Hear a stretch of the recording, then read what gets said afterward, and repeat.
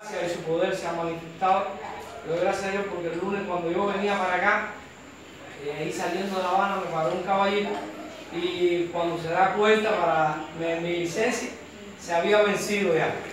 Y yo, bueno, me la retiró ahí mismo, me la quitó y todo empezaba, no es porque tenía que haber hecho, porque esto, lo otro. Y yo, bueno, yo en mi cabeza, Señor, decía, yo ni hablaba ni decía nada. Yo sabía lo que representaba venir para acá sin licencia todos los planes que habíamos tenido con hermanos. Y yo, bueno, Señor, yo voy a empezar a tocar puertas, pero lo más importante, Padre, que tú me ayudes a que todos son hombres. Yo doy gracias a Dios porque el primer salmo que Dios me dio cuando yo cuando empecé a buscar a Dios, el Salmo 95, donde dice que Dios hizo todas las cosas, que los hombres, que la tierra, que todo lo hizo Él y que tiene dominio sobre todas las cosas. Amén. Y le doy gracias a Dios, hermanos, porque fueron días bastante difíciles aquí en la casa, especialmente para mí. Y le doy gracias a Dios porque fueron días de espera y la espera a uno a veces puede provocarle la impaciencia. Sí, Pero doy gracias a Dios, hermano, porque Dios hizo una obra muy grande, muy maravillosa.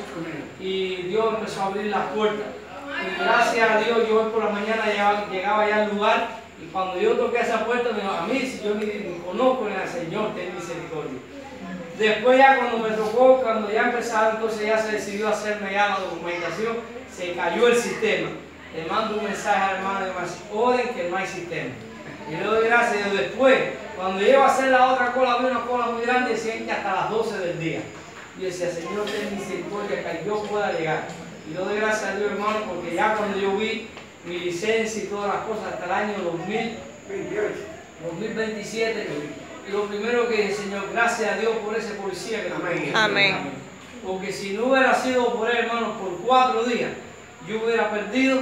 Y decir que ahora, este, eh, ahora mañana cuando yo saliera para La Habana, eh, me cogen así en la carretera, ahí sí hubiera perdido la licencia y tenía que sacar el teórico, práctico, sin poder manejar, sin poder ir a la placeta, sin poder ir al campo, que nosotros vamos cada domingo, que recogemos más de 100 kilómetros cada domingo, imagínense todo eso, hermano. Pero como uno sirve a un Dios tan grande, y Amén, Dios amén. piensa, Dios usa, Gracias, Dios usó al Señor. policía, me la Dios empezó a orar y a abrir, gracias a Dios, por todos los amigos Amén. que, que Dios nos regala. Amén. Son personas que usted no ven aquí, pero que Dios usa Amén. para ayudar a sus siervos. No tengo que decir nombre porque no es beneficioso, pero sí le doy gracias a Dios por todos los amigos que Dios me puso para poder resolver esta situación. Amén. Pero a mí todo en mi cabeza era cuatro días, cuatro días y cuatro días.